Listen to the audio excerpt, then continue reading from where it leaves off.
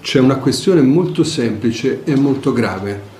Sibilla Barbieri aveva diritto di ottenere l'aiuto alla morte volontaria legalmente in Italia. Questo è il punto. La sentenza della Corte Costituzionale è stata scritta definendo dei criteri a partire dal caso di Fabiano Antoniani. Non è possibile interpretare in modo diverso quello che c'è scritto in quella, in quella sentenza della Corte. Sibilla Barbieri era dipendente da trattamenti di sostegno vitale, quindi c'era una urgenza nel sottrarsi a una fine che lei non voleva.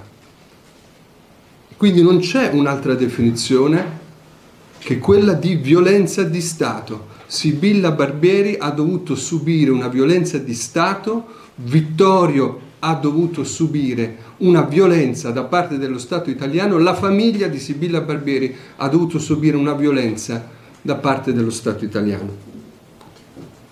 E siccome l'interlocuzione è stata l'interlocuzione con la ASL, a questo punto io penso che il quadro delle responsabilità sia molto preciso.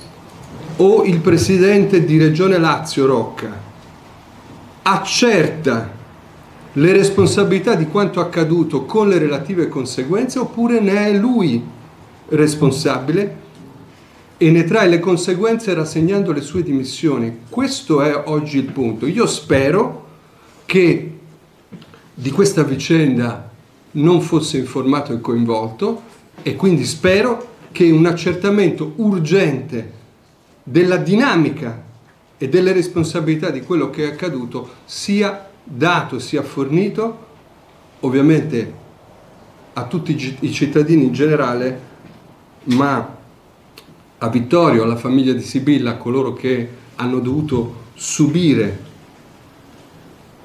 il prezzo di ciò che è accaduto, ecco, che questo chiarimento venga fornito subito.